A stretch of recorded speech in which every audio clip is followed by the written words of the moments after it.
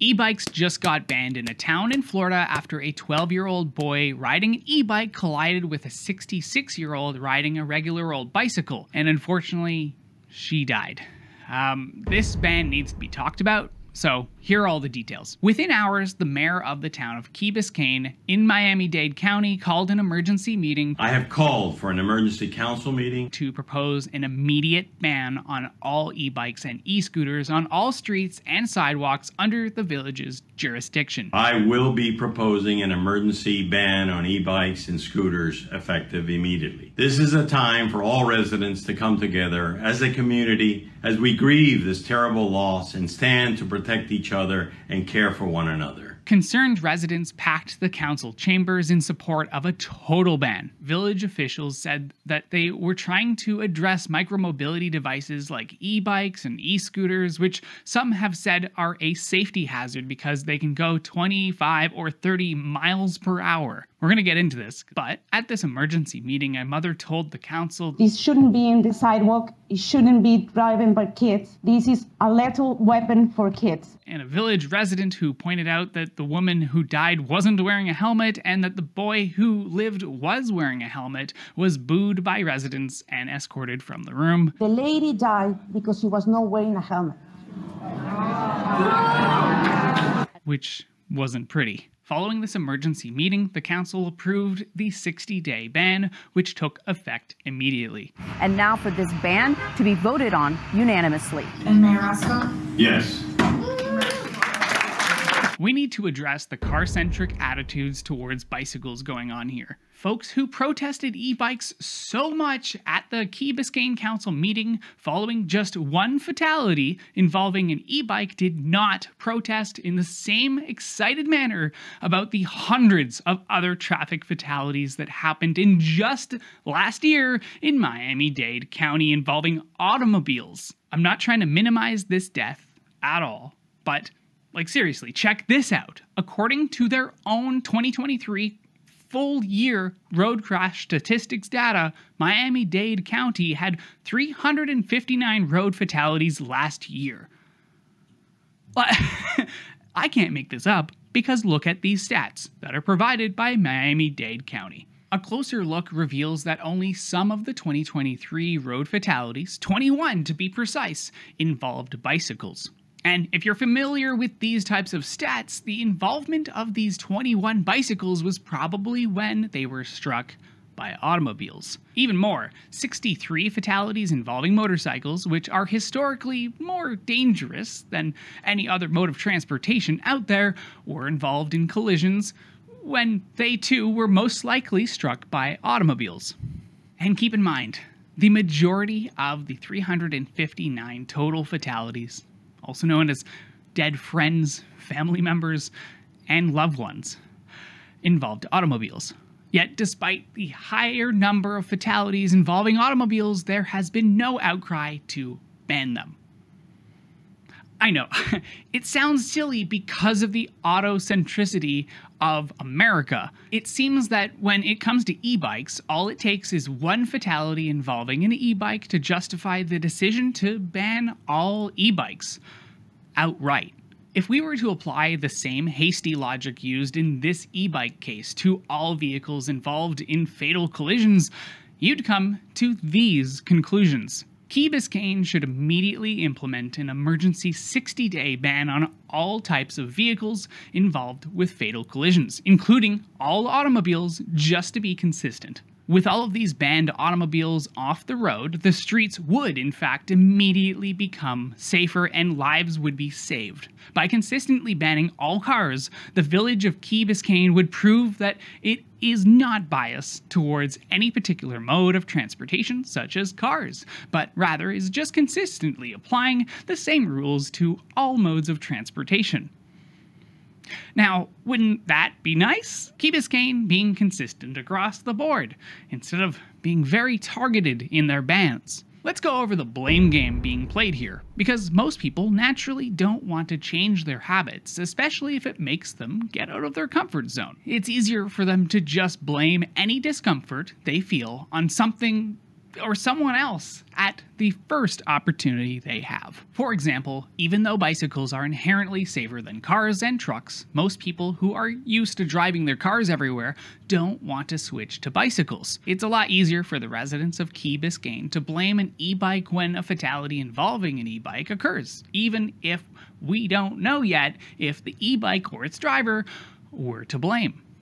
Or even if that e bike involved in this collision was an e bike at all. Because all of this footage in these news videos almost exclusively show what look like e motorcycles. Also known as gray zone e bikes, that should actually be registered because they can travel at speeds up to 45 miles an hour, or more actually, instead of the 28 mile an hour limit set out by the state of Florida.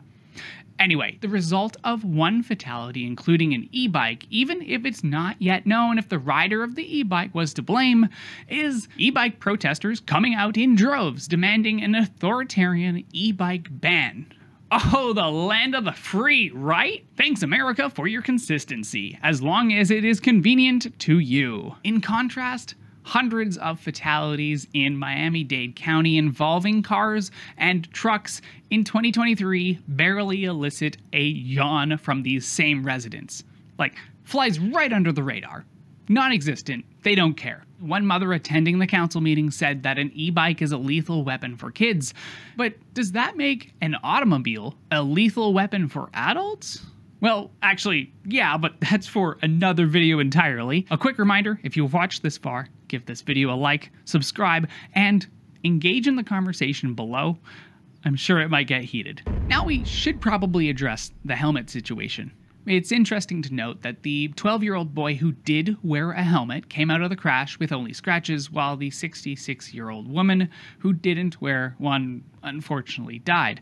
Now, this is not to say that the woman would have necessarily survived with a helmet, but the example of the unfortunate village resident who mentioned the same helmet issue at the council meeting only to be booed and escorted out by police officers indicates a mob mentality there. These residents didn't want to consider any factors that might lead to a safer environment for riders if it might be inconsistent with their ultimate goal to ban e bikes because wearing a helmet for riding a relatively slow, light, safe bicycle is a very American thing to do.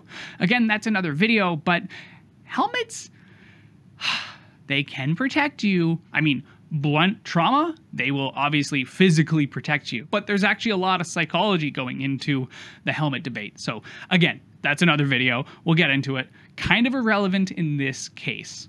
Now, this, this is much more relevant. Speed and killing power. This is just another factor we need to talk about. The concern raised by village officials was that e bikes go way too fast, up to 25 or 30 miles an hour. Let's get the facts straight though. There are many different classes of e bikes, and this is really important.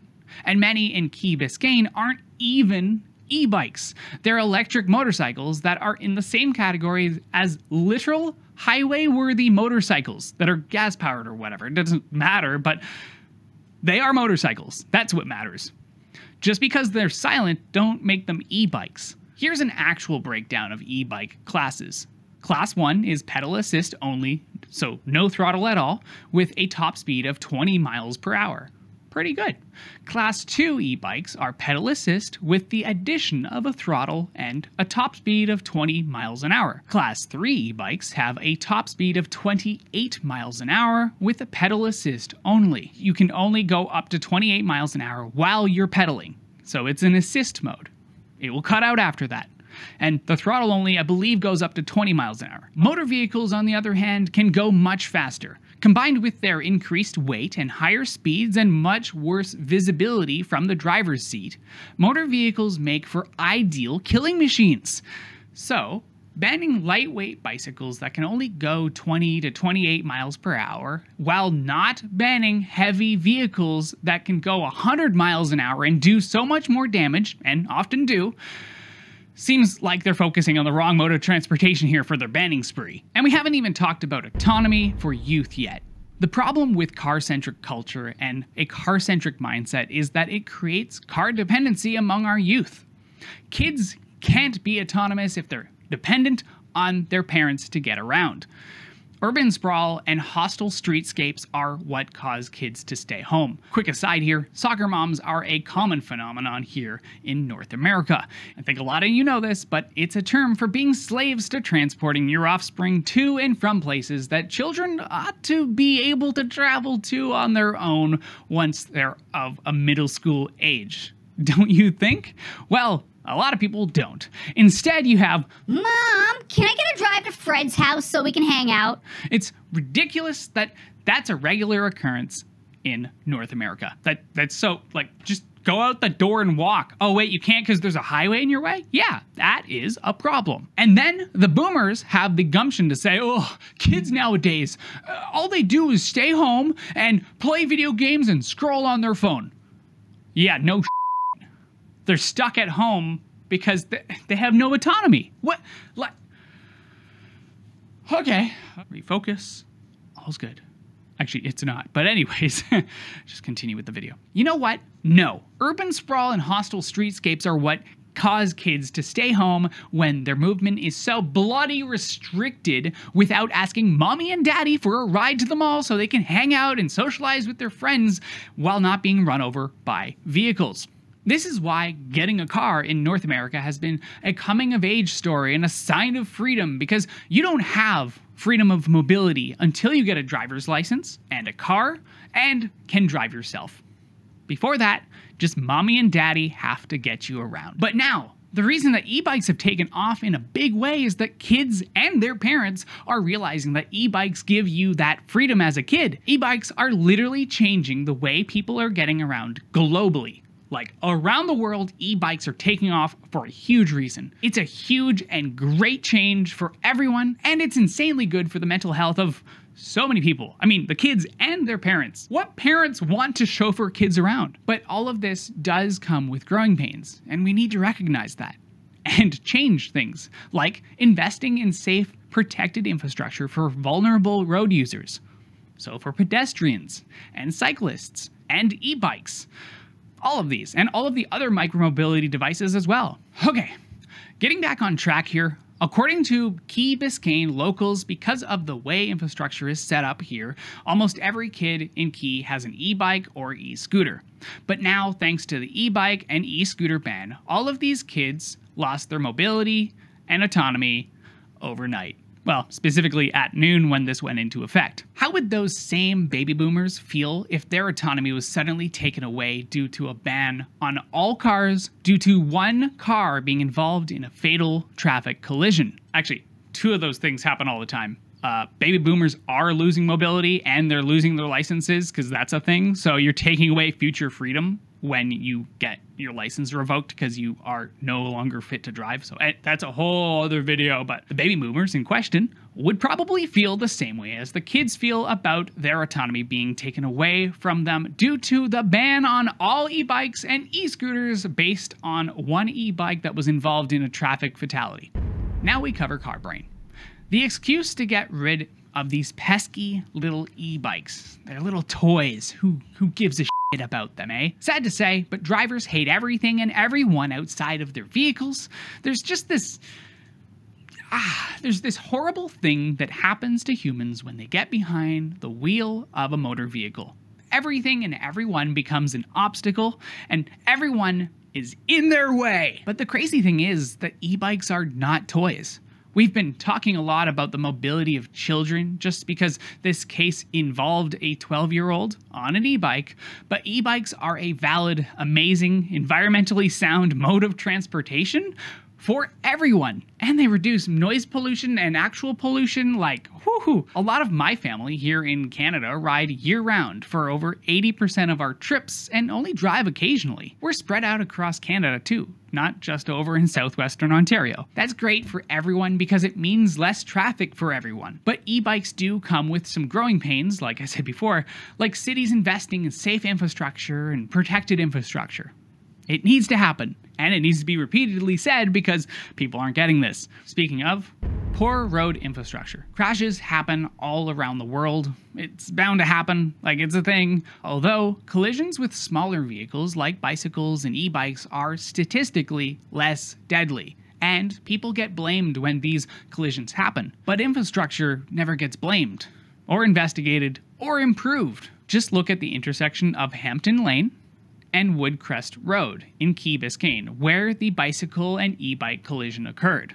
This intersection is in a relatively quiet residential suburb, but this intersection is freaking massive. Look at it. Like, these stop signs are just asking to be rolled through, seeing as the stop lines are so far back that you have to creep forward to even see if anyone else is coming. So, what happens with these collisions? Well, cleanup crews sweep the wreckage away and everyone forgets the incident ever happened. Ta da, done until the next collision happens in the same exact spot, almost in the same way. Again and again. Do you see a trend here? Do you see a problem?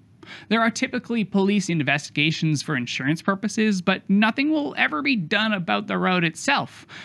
Now, this is different to how the Dutch deal with traffic incidents. In other places, like the Netherlands, if a serious crash happens, the road is closed and there is a full on investigation as to why the crash happened and what might be done to prevent future occurrences. This accounts for human error because humans are pretty dang prone to error. Like, we're pretty bad at driving. With that last bit in mind, that's what needs to happen here a full, extensive investigation that doesn't only find someone to blame, but also looks at methods to reduce collisions of all sorts in the future. The only thing left to say is stop this ban and deal with the actual problems, Key Biscayne. And if you've watched this far, like, subscribe, comment, and stuff and things, and bye!